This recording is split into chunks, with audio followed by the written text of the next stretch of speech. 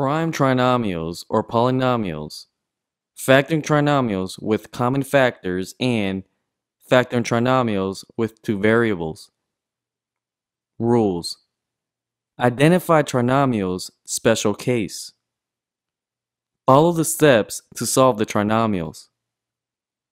For example, x squared plus 4x plus 8 when all the trinomial signs are positive, we use positive signs inside the parentheses. To find the first term in our answer, we look at the first term in our trinomial. x squared is the first term in our trinomial. x squared factors are x times x, so we write this as part of our answer.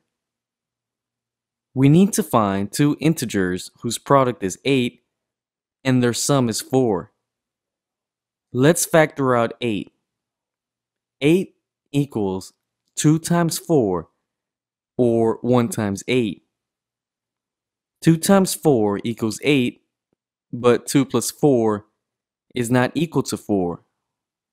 1 times 8 equals 8, but 1 plus 8 is not equal to 4. There is no integers whose product is 8 and their sum is 4. This means that this trinomial or this polynomial is prime. Let's try an example for factoring trinomials. 2x cubed plus 18x squared plus 36x. As we can see, we can pull out the greatest common factor from this trinomial. The greatest common factor is 2x. After factoring out the greatest common factor, we end up with 2x times x squared plus 9x plus 18. Now we factor x squared plus 9x plus 18. The two integers whose products is 18 and their sum is 9 are 6 and 3. We write the answer as follow. 2x times x plus 6 times x plus 3. Let's try factoring trinomials with two variables. x squared minus 7xy plus 10y squared. To find the first term in our answer, we look at the first term in our trinomial. x squared is the first term in our trinomial. x squared factors are x times x so we write this as part of our answer. Now, we need to find two expressions whose product is 10 and their sum is negative 7. Let's factor out 10.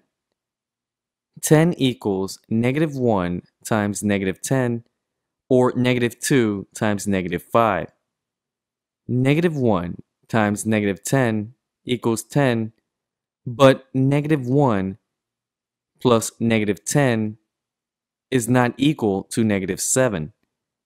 Negative 2 times negative 5 equals 10, and negative 2 plus negative 5 equals negative 7. Notice how we write the answer when we are factoring with two variables. x minus 2y times x minus 5y. Let's practice. Take your time and try the following exercises. When you finish, check your answers with mine. Practice solution. x squared minus 8x plus 48. In this trinomial, this sign is negative and this sign is positive. In this case, the sign inside the two parentheses will be negative. To find the first term in our answer, we look at the first term in our trinomial. x squared is the first term in our trinomial x squared factors are x times x, so we write this as part of our answer. We need to find two integers whose product is 48 and their sum is negative 8. Let's factor out 48. 48 equals negative 2 times negative 24 or negative 4 times negative 12 or negative 6 times negative 8. Negative 2 times negative 24 equals 48, but negative 2 plus negative 24 is not equal to negative 8. Negative 4 times negative 12 equals 48, but negative 4 plus negative 12 is not equal to negative 8. Negative 6 times negative 8 equals 48, but negative 6 plus negative 8 is not equal to negative 8. There are not integers whose product is 8 and their sum is 4. This means that this trinomial or this polynomial is prime. Let's try another example. 4x cubed minus 8x squared minus 12x. As we can see, we can pull out the greatest common factor from this trinomial. The greatest common factor is 4x. After factoring the greatest common factor, we end up with 4x times x squared minus 2x minus 3.